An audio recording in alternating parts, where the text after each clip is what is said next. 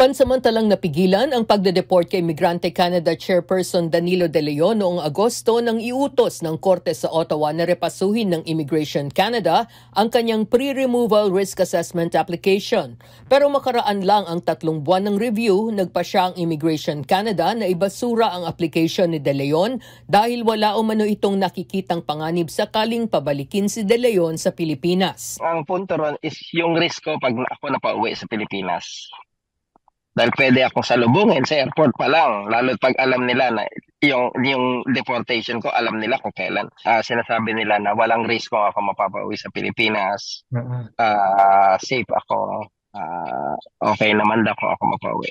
Eh, which is hindi naman nila alam kung ano yung totoo. Pinagtibay ng Immigration Canada ang desisyon nito noong Nobyembre 5, 2022 pero natanggap lang ito ni De Leon noong Desyembre 29 habang nasa Christmas holiday ang mga tao. Enero nang i-file sa Federal Court ng Edmonton ng kanyang abogado ang hiling para sa judicial review ng desisyon ng Immigration Canada. Iginiit ni De Leon na unang dumating bilang temporary foreign worker sa Canada noong 2009 dahil sa labor shortage noon na hindi kailanman siya naging pabigat sa gobyerno.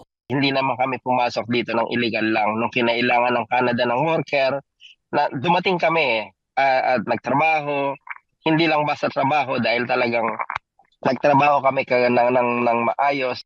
Nanawagan ang iba-ibang progresibong grupo na itigil ang deportation ni De Leon. Nangunguna rito ang Canadian Union of Public Employees o CUPE, ang pinakamalaking unyon sa Canada.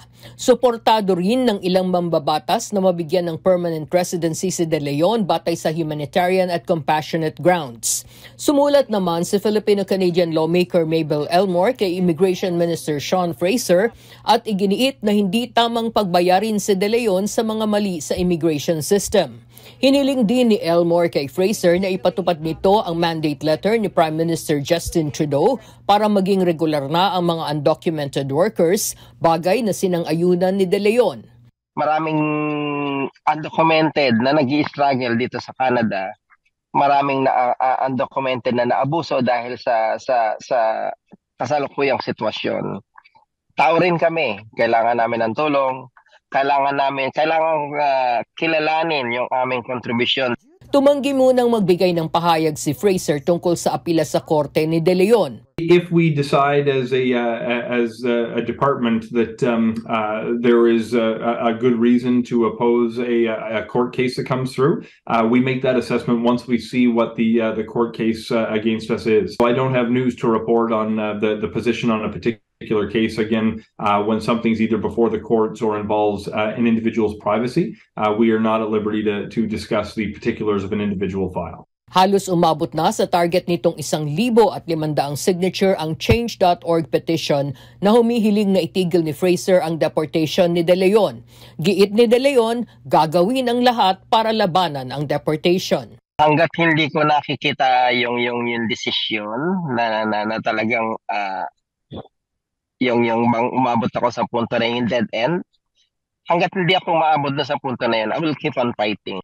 Regular na nagre-report in person si De Leon sa Canada Border Services Agency o CBSA kada dalawang linggo at sa telepono dalawang beses bawat linggo habang hinihintay niya ang desisyon ng korte. Para sa TFC News, Rowena Papasin, ABS-CBN News, Vancouver.